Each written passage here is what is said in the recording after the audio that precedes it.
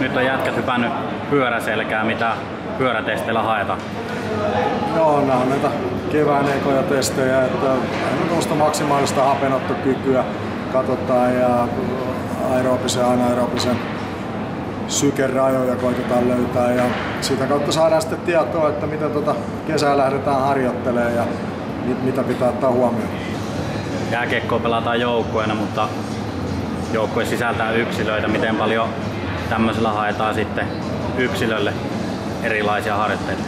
No hyvin paljon nimenomaan yksilölle, että, että, että periaatteessa on mitään väliä, mikä ne tulokset on joukkueen kannalta, että, että se on yksilöllistä tietoa ja, ja, ja sitten me valmentajat tietenkin saadaan sitä tietoa, että miten heitä kannattaa viedä eteenpäin ja, ja hyviä tuloksia ollaan saatu sillä, että tiedetään miten tästä eteenpäin ja se on tärkeää tietoa tässä vaiheessa kautta.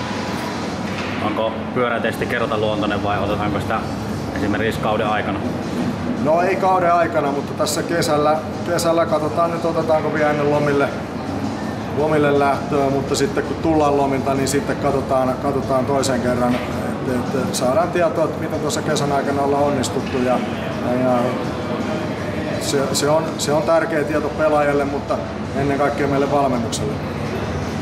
No, käppyröistä ja numeroista saahan paljon tietoa, näetkö siellä esimerkiksi kavereista tuossa pyörän päällä luonteen, luonnetta tai muuta?